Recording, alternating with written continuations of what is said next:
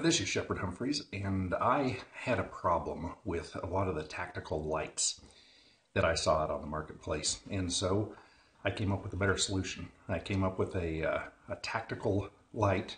It's an accessory, it's not going to be your only light. Uh, so it's a supplemental light to your primary, really bright lighting system. And it is mounted on your finger of your support hand.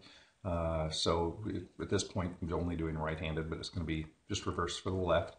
Uh, and this is for searching uh, in the dark when you need to have a light.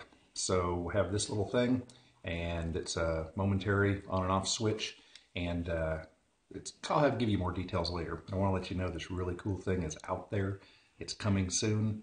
Uh, this idea I started doing my prototypes in the fall of 2017.